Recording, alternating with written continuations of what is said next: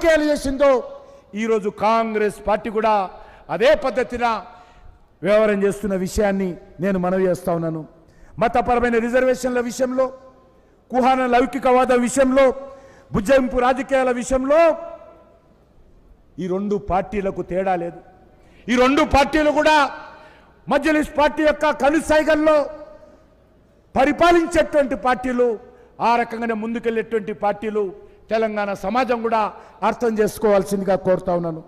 రామ్ మందిర్ విషయంలో కానీ తెలంగాణ ఉద్యమకారుల యొక్క ఉద్యమ సమయంలో మరి ఏ రకంగా నిర్లక్ష్యంగా వివరించిందో మనకు తెలుసు.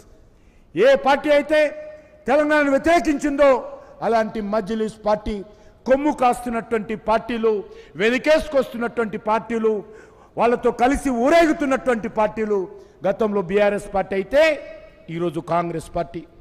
అంతేకాకుండా ఈరోజు అన్ని రకాలుగా తెలంగాణకు అన్యాయం జరుగుతున్నటువంటి విషయాన్ని మనం చూస్తున్నాము. అందుకే మీకు మనం చేస్తా ఉన్నాను. ఈ రెండు పార్టీలు కూడా ఈరోజు భారతీయ జనతా పార్టీని విమర్శించేటువంటి నైతిక హక్కు ఇటు బీఆర్ఎస్ పార్టీకి కానీ కాంగ్రెస్ పార్టీకి కానీ లేదు. తెలంగాణలో మేము ఎప్పుడు అధికారంలో లేము. గతంలో యాభై సంవత్సరాలు ఈ రాష్ట్రాన్ని పరిపాలించింది కాంగ్రెస్ పార్టీ.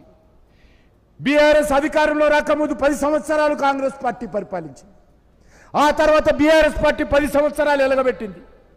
మళ్ళీ ఈరోజు కాంగ్రెస్ పార్టీ వచ్చింది.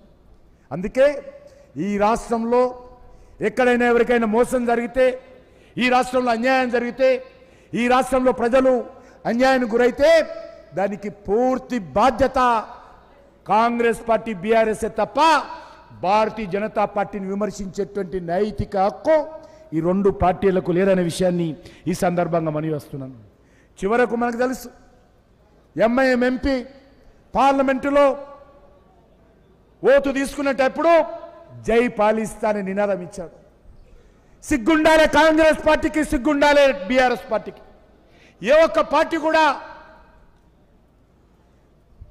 భారతదేశానికి సంబంధించినటువంటి పార్లమెంటులో పార్లమెంటుకు సభ్యుడిగా ఎన్నికైనటువంటి ఓటు కార్యక్రమంలో జై పాలిస్తీన్ అనేటువంటి నినాదం ఇచ్చాడు తప్ప భారత్ మాతకు జై అనేటువంటి వ్యక్తి ఈరోజు అలాంటి వ్యక్తితో కొమ్ము కాస్తున్నటువంటి పార్టీలు ఈరోజు కాంగ్రెస్ పార్టీ బీఆర్ఎస్ పార్టీలని మనం చేస్తా ఉన్నాను వీరు ఏ రకమైనటువంటి సెక్యులరిస్ట్లో ఈరోజు తెలంగాణ ప్రజలు అర్థం చేసుకోవాల్సిందిగా మారుతా ఉన్నాను పదే పదే రాజ్యాంగాన్ని మారుస్తారని రిజర్వేషన్లు ఎత్తివేస్తారని తెలంగాణలో ప్రచారం చేయడం జరిగింది.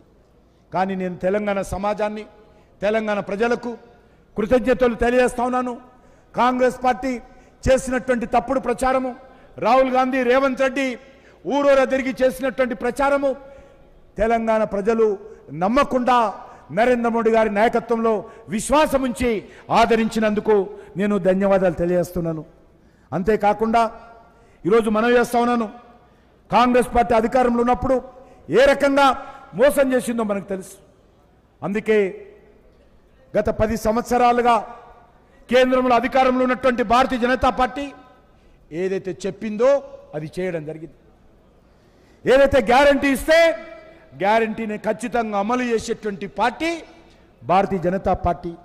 గత డెబ్బై ఐదు సంవత్సరాలుగా దేశంలో కానీ అనేక రాష్ట్రాల్లో కానీ ఎప్పుడెప్పుడు కాంగ్రెస్ పార్టీ అధికారంలో ఉంటే ఏ ఒక్కరోజు కూడా ఇచ్చినటువంటి హామీలను అమలు చేయనటువంటి పార్టీ కాంగ్రెస్ పార్టీ అనే విషయము ఈరోజు వంద శాతము తేట తెల్లమైంది. నీళ్ళేవో పాలేవో ఈరోజు అర్థమవుతా ఉంది. అంతేకాకుండా ఈరోజు ఈ సందర్భంగా మనిచేస్తున్నాను తెలంగాణ రాష్ట్రంలో గత పది సంవత్సరాలలో అన్ని రకాల అభివృద్ధిలో నరేంద్ర మోడీ గారి ప్రభుత్వము బీజేపీ ప్రభుత్వము ఏ రకంగా అండదండలు అందించిందో మనకు తెలుసు. గ్రామీణ సడక్ యోజన కానీ లేక అన్ని రకాల ఒక గ్రామంలో పేదవాడికి టాయిలెట్ నిర్మాణం మొదలు పెడితే ఒక రైతుకు కిసాన్ సన్మాన్ నిధి ఇవ్వడం మొదలు పెడితే ఒక సంవత్సరానికి ఒక ఎకరానికి మరి ఎరువుల మీద పద్దెనిమిది వేల రూపాయలు ప్రతి ఎకరానికి ఈ తెలంగాణ రాష్ట్రంలో నరేంద్ర మోడీ గారు ప్రభుత్వం సబ్సిడీ అందిస్తున్నట్టు మొదలు పెడితే గ్రామ పంచాయతీలకు కానీ బస్తీ దవాఖానాలకు కానీ ఈ రకంగా జాతీయ రహదారులకు కానీ రైల్వేల అభివృద్ధికి కానీ విద్యుత్ రంగానికి కానీ అన్ని రకాలుగా నరేంద్ర మోడీ గారి ప్రభుత్వము దాదాపు పది లక్షల కోట్ల రూపాయలు గత పది సంవత్సరాలలో నరేంద్ర మోడీ గారి ప్రభుత్వము తెలంగాణ కోసం ఖర్చు చేసిందనే విషయాన్ని ఈ సందర్భంగా మని వస్తున్నాను మరి బీఆర్ఎస్ పాలనలో కుటుంబ అభివృద్ధి జరిగిందే తప్ప తెలంగాణ అభివృద్ధి జరగలేదనే విషయాన్ని ఈ సందర్భంగా మనివేస్తున్నాను ఈరోజు ఏ రకంగా కూడా ల్యాండ్ మాఫియా కానీ శాండ్ మాఫియా కానీ గ్రైనేడ్ మాఫియా కానీ లిక్కర్ మాఫియా కానీ డ్రగ్స్ మాఫియా కానీ ఈరోజు ఏ రకంగా ఈ రెండు పార్టీలు రాష్ట్రంలో గతంలో బీఆర్ఎస్ లూటీ చేస్తే ఈరోజు కాంగ్రెస్ పార్టీ మేమేం తక్కువ తిన్నామనే విధంగా లూటీ చేస్తున్న విషయాన్ని ఈ సందర్భంగా మనియేస్తున్నాను అంతేకాకుండా ఈరోజు మనవి చేస్తా ఉన్నాను. మరి ఈరోజు ఈ రాష్ట్రంలో మరి అన్ని రకాలుగా భారతీయ జనతా పార్టీని ముందుకు తీసుకెళ్ళాల్సినటువంటి బాధ్యత మనందరిపైన ఉన్నది. దానికోసము భారతీయ జనతా పార్టీ కార్యకర్తలు మనమందరం కూడా మరి ఖచ్చితంగా ముందుకెళ్ళాల్సినటువంటి అవసరం ఉంది. స్వతంత్ర భారతదేశ చరిత్రలో మరే రాజకీయ నాయకుడు సాధించలేనటువంటి రికార్డును ఈరోజు నరేంద్ర మోడీ గారు సాధించారు. దేశవ్యాప్తంగా భారతీయ జనతా పార్టీ ముందుకెళ్తా ఉంది. ఈరోజు మనం చేస్తూ ఉన్నాను. మరి అన్ని రకాలుగా పార్లమెంట్ ఎన్నికల్లో భారతీయ జనతా పార్టీ విజయాన్ని తక్కువ చేసి చూపించేటువంటి ప్రయత్నం జరుగుతూ ఉంది. మరి ఈరోజు మనం చేస్తా ఉన్నాను.